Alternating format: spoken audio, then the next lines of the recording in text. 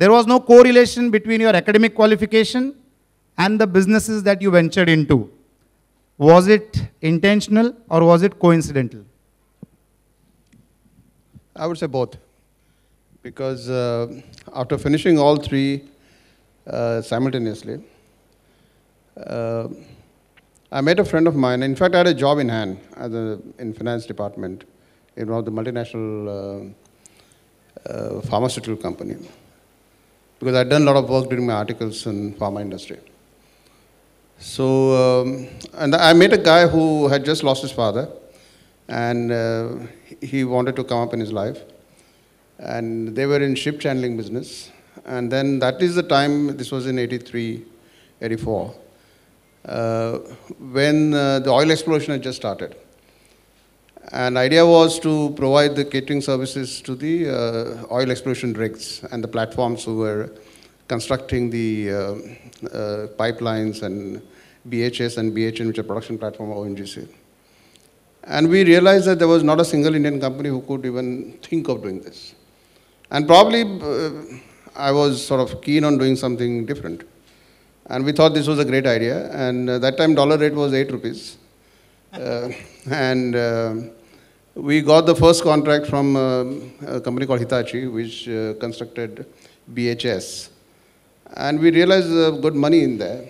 And that's how the whole thing started. And once it was a local company providing Indian services uh, to the, uh, uh, the contractors, including ONGC, I think we realized it was a great opportunity. We kept the services right. And then the success followed automatically. So the opportunity decided your career, not the education. Uh, yes and no. I mean, education, my, my belief is that education is your basic platform as a jump board. So more you uh, are learned, uh, sometimes it works against you, sometimes it works with you. Because as an entrepreneur, especially more learned you are, you think of more risks. And uh, many times you have to jump without thinking too many risks. So whatever knowledge I had, uh, whatever uh, knowledge I gained uh, during my um, studies, I mean, that's I call education. That's not a knowledge. So what knowledge you gain, and then probably white hair give you the wisdom. So you have to differentiate between education, uh, knowledge, and wisdom. So, so initial days you dyed your hair white or? Actually, yes. no, no, I'm just joking. well, uh, you, I heard you say that more than services, it is the products that generate valuation. I'm sure that is your chartered accountant's mind and it worked very positively for you. So you began with the product industry and you went to unheard of countries and there are so many countries which I can't even pronounce. You went there and you did business. So what gave you that insight when India was totally flourishing towards the service sector? You branched out and you uh, went and created products which were globally accepted and globally wanted. So what was that insight which helped you to take that decision? First thing, I think in 93 when we thought of getting into, uh, in 87 I shifted to IT industry because five, six years in uh, food industry and I'm still involved in food industry with the same guy after uh, 87. I'm still with him on board in a Singapore company where we're doing remote catering in Australia and Gulf and on mine sites and so on and so forth. So I'm supposed to be good at remote catering part uh, and I continue to enjoy that. Um, because I enjoy food. I mean, you can make it out. Uh, yeah, that can be made out on me also. uh, but uh, idea was to do something different. Okay, because when we, uh, I, got into IT industry, I joined Tata's, Tata Unisys that time, Tata Burroughs, Tata Unisys, and realized there were 300 other IT service companies. So if I want to start something new, I should not be one more IT service company. And uh, the wisdom part, which slowly grew, was that if you can, if you want to make money, rather everybody here wants to make money, right? There are only three ways you can make money. One is you have to do something better than others are doing. You have to do something different than what others are doing, or you have to do something new.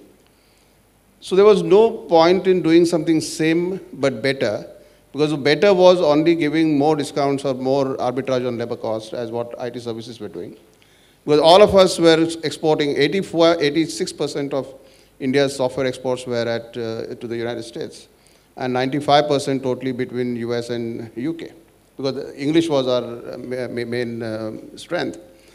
Uh, so there was no point in doing something better than what others were doing, because that was a tough job. So we thought we do, should do something different, and different was a product. And product gives normally the exponential growth rather than the linear growth. Because in any service industry, you take hotel, you take hospitals, you take any service industry, the linear growth is if you want to increase the top line, you have to increase the number of people. Because that's the way the service industry moves. And uh, in product, the, the, the, say Microsoft, for example, the Windows first CD costed them probably $10 million. The next CD costed them 50 cents, right? So that is the beauty of product, and that's how exponential growth is all about. So exponential growth, you invest first. Once you are successful in investment, what you did, the rest of the sales that you do goes into your bottom line, which is a license fee. And that's the beauty of uh, that business. And it is a risky business, a high return, high risk uh, business. But I think it's fun doing that because uh, uh you have the experience. The made in India product was to be launched. It was a mission critical product. So all kind of challenges with that. And we went to unheard countries, it was more out of compulsion because with million dollar, with a mission critical product like FlexCube that we created, and why call it mission? That was uh, one of the best banking uh, product available in That's that right. period. No, no, even today. Even today. Yeah, of course. uh, so why it's called mission critical? Because even the ERP, if you buy and it, it fails on a day, your production line doesn't stop. But in the bank, if FlexCube stops functioning or what we call as end of day doesn't happen, the next day morning, neither ATMs nor branches nor bank can open. So it is a mission critical product. And then to make it in India and try to go and sell it to United States, 10,000 miles away, or to UK or any advanced country, we chose to go to the emerging market because the penetration cost was low.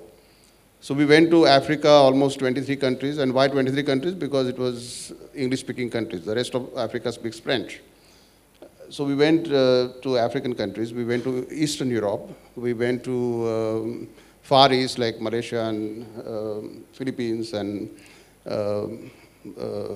Indonesia. Some small islands near Fiji, some small oh, sure, islands sure. below there New Zealand. a place called Samoa, uh, Vanuatu, and uh, Brunei. So I have traveled personally like more than 75 countries for business. So my next question is, even doing business with two different countries is a big challenge as far as laws are concerned. I can guarantee that even if, a, even if God becomes an entrepreneur, he can't do business in more than 20, 50, 60 countries. You did business in 72 countries. So how did you tackle the international rules, regulations, currency fluctuations, permissions, no, no, I, I local, localization knowledge, language knowledge? How did you face those challenges? Sure. I said I traveled 75 countries. The number of countries that we were in were 132. More than 100, yeah. Yeah, 132 countries. and yeah, you, uh, you made it sound easier now. and then I realized we were the third because the Coke uh, and IBM and then iFlex. I'm sorry, uh, Coke Football, uh, World Football Association, uh, Council or whatever the, uh, like ICC, and third was iFlex in 132 countries, okay? So uh, idea was to get into, yeah, I mean, you, you talked about the laws and everything. The more tension was because the banking and financial sector is the most regulated or second largest regulated industry than after the civil aviation. Civil aviation is the most regulated industry. And then comes the banking because every government in the country or central bank wants to understand everything that is happening in the bank. And therefore, the kind of technology that you provide, which is core banking solution, uh, was very tough to handle. And more so because during last two decades, if you see, after Y2K and Eurozone, I mean, currency has been changing, the inflations, the economy, even the banking was changing tremendously. Today, the way in which banking happens with us, I mean, my parents were very happy when core banking solution was introduced that they don't have to stand in a queue to get their passbook filled in on a particular counter. He was, my father was very happy because he could go to any counter put his passbook and gets printed immediately and was given to him. So he was very happy. My sons even won't go to bank ever. Because they don't care which bank, which branch, because banks are not required, the banking is required. And the banking is required, banking can be provided by technology. So it was governments, it was different rules. It was changing bank, it was most regulated bank, and that's the industry, is fun to provide them the solution. So were you into the business of information or were you in the business of technology? I, I, I would say both. Technology always is a facilitator for information. And What in- is more crucial? I think information is more crucial. Because unfortunately, many people believe that IT industry is uh, more of a technology and only engineers can handle that and so on and so forth. You take any ERP or you take any, any software, the domain knowledge is more required than the technology. Because the way in which now the technology tools are developed, I, I, I would say that technology is no more a constraining factor. Okay, we have got a lot of tools and platforms where you can develop the way in which you want. I think the limitation is your imagination, how you imagine a particular uh, product to be introduced in the market.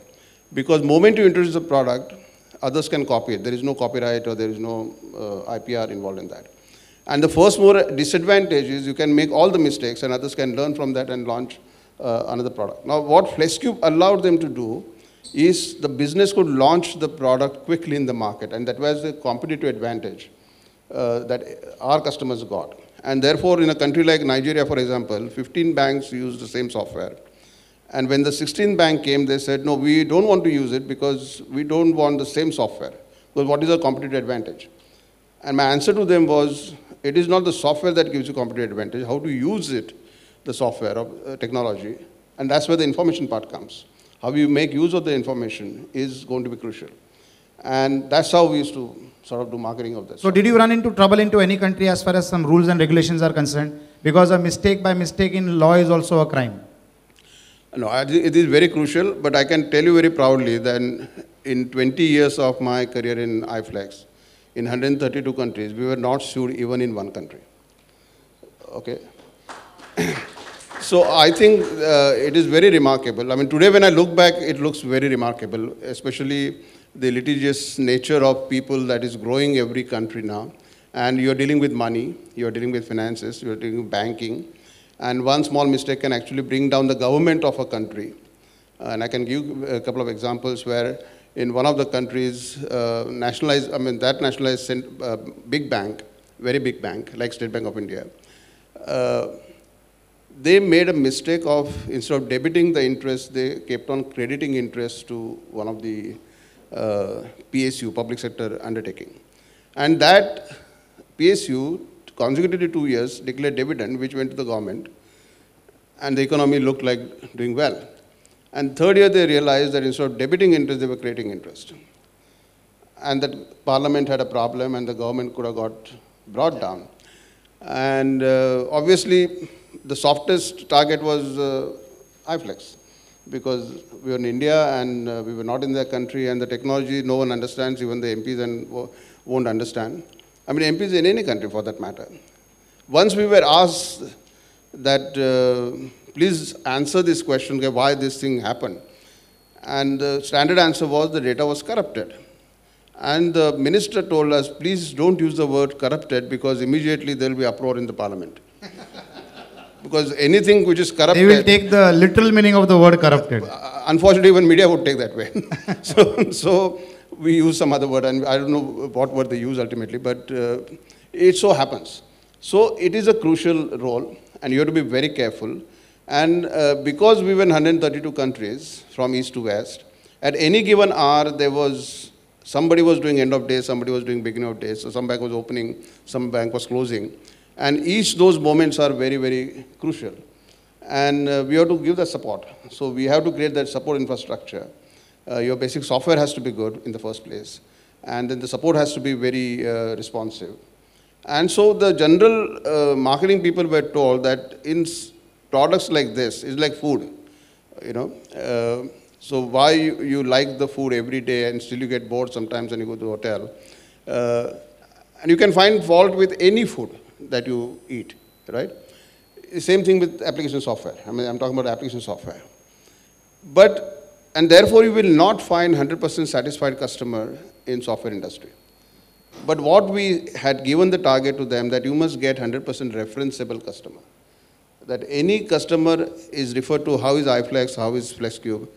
Everyone by default should be saying, oh, they're good. And when you can be good, because when you are responsive to them.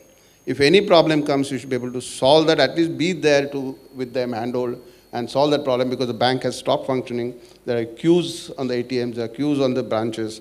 This is something which can't be tolerated by anybody. Dipali, come.